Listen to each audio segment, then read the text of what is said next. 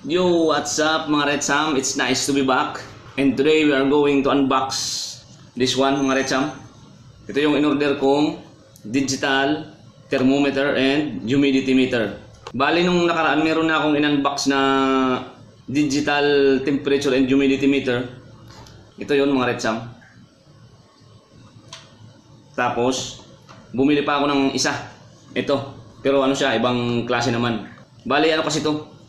Di ba nabanggit ko doon na balak kong ito ang gamitin sa gagawin kong DIY na incubator. Kasi bukod kasi guys sa incubator, kailangan din natin ng brooder. Tapos ano yan, control din ng temperature saka humidity. Kaya bumili ko uli ng isa pang ano, ng isa pang digital temperature and humidity meter pero ibang klase na para at least may kumpara ko silang dalawa. Ngayon pagpipilian ko na lang kung alin ang gagamitin ko sa incubator kung ito ba or itong i-unbox natin ngayon. So tara mga Red Sam, let's go!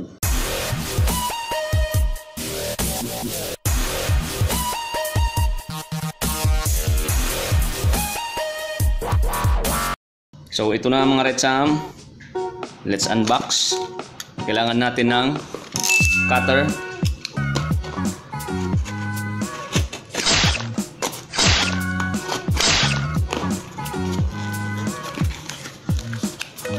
Inside the box is a box again mga Red Sam. Wow, box na naman. Buksan na natin mga Red Sam. Tadan!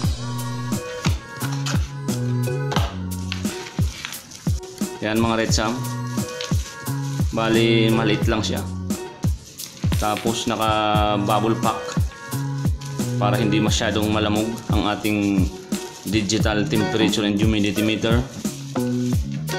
Yan mga red sam, ang itsura niya. Meron siyang kasamang manual. Yan mga red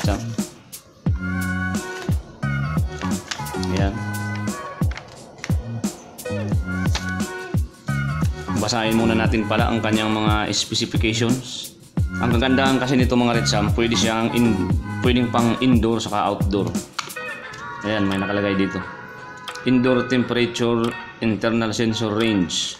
Negative 10 degrees Celsius to 50 degrees Celsius or 14 degrees to 122 degrees Fahrenheit magkaiba naman yung ano niya yung sa outdoor pang outdoor pang sa external sensor. Negative 50 to 70 degrees Celsius. Or negative 58 to 158 degrees Fahrenheit. Tapos ito yung ano niya sa outdoor humidity from 10 to 95% relative humidity. Sampling time uh, every 10 seconds pala ang ano niya sampling time. Yung accuracy niya is plus or minus 1 degree Celsius sa temperature tapos sa relative humidity plus or minus 5% powered by 1.5 AAA battery. Tapos yung functions niya mga red sam display indoor and outdoor to temperature outdoor humidity. Yan, dinidisplay niya pala dalawang temperature yung indoor sa outdoor. Tapos yung humidity. Use external sensor, test outdoor temperature and outdoor humidity. Ah, ito yung mga ano niya, mga red sam, yung ito yung sa humidity. Ito yung sa temperature. Record maximum and minimum temperature and humidity automatically. Ah, parang ato, ano pala mga red sam? Parang ito rin, nire-record niya yung ano, minimum saka maximum. Tapos Celsius and Fahrenheit switch. Ah, meron din siyang degrees Celsius saka degrees Fahrenheit switch. Ito, mga red sam. The sucker for fix the long external sensor wire to somewhere. Oh, meron siyang ano, ito. Para pwede mo siyang idikit. Yan, suction cup. Yan, meron siyang suction cup. Ito mga red sam. Magnet and clip on the back. Stand desk. Difference installment way. Oh, pwede siyang stand.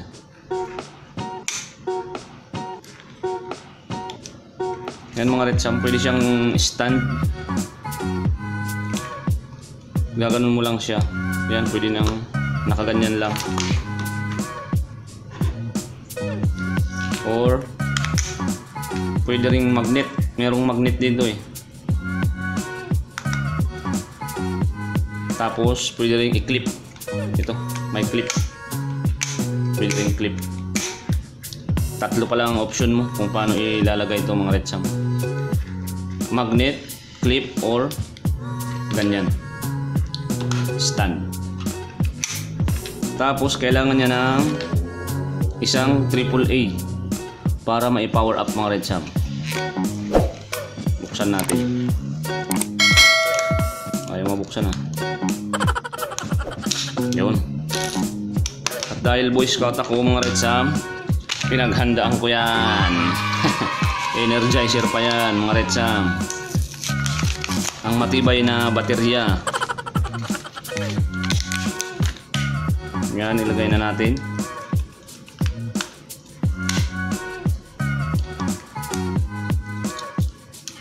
Natin ang takip.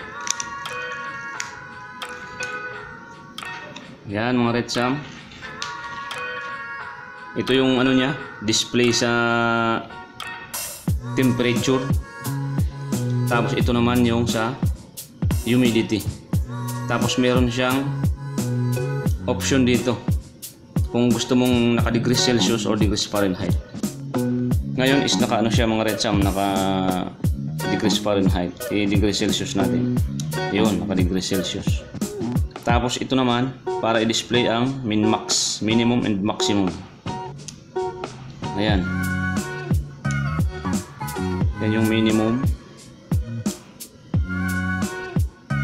Maximum. Minimum. Tapos balik siya sa yung actual. Yan, maximum. Minimum. Ito yung actual. Ito yung sa in. Yung sa loob. Kasi ito pwede itong ilabas, ilagay sa labas. Para may display yung sa out. Ito naman. Yan, yung sa out. Kasi pwede itong gamitin sa loob ng bahay mga retsam.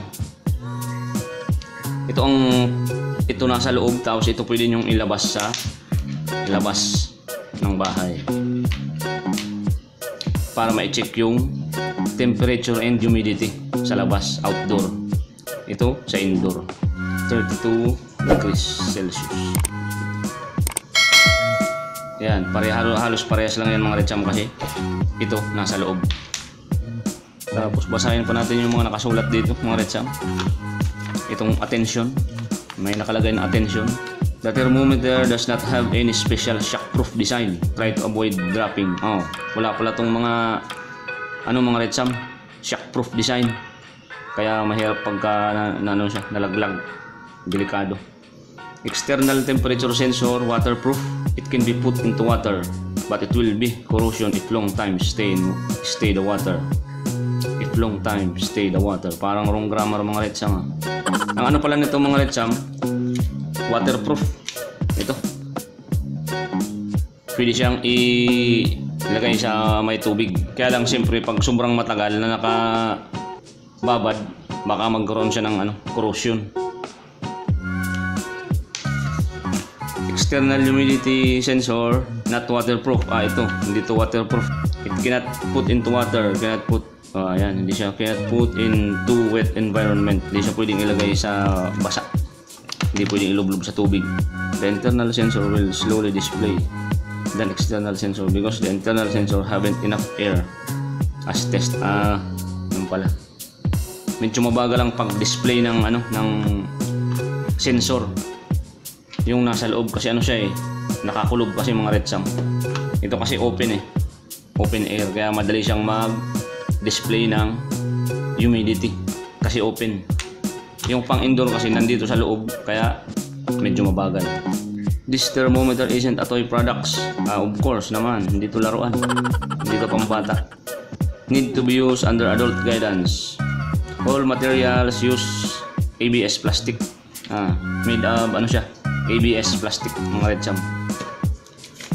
It is friendly for environment. Please recycle. So, yun lang mga red cham. Ay, ano nga pala, bago makalimutan, yung price nito pala. Nabili ko siya for 25 ringgit. Around, ano yan mga red cham, mga 300 plus pesos. Yung dimension niya, mga red cham, is 63 by 63 by 12 mm. Tapos ang mga ano niya, yung mga length, yung haba nitong mga probes, nitong dalawa is nasa 36 inches. So, yun lang mga Red Sam. That's all for today. Please like, comment, and share my videos mga Red Sam at pakisubscribe na rin sa mga hindi pa for more of my videos. So, that's all muna mga Red Sam. Bye for now. Asa na yung remote ko? Ah, dito na. That's all for now mga Red Sam. See you again next time.